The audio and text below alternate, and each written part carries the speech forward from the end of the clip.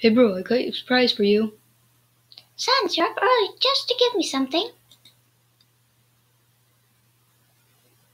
A present for me? Yep, for my coolest bro. That's so nice of you. You shouldn't have.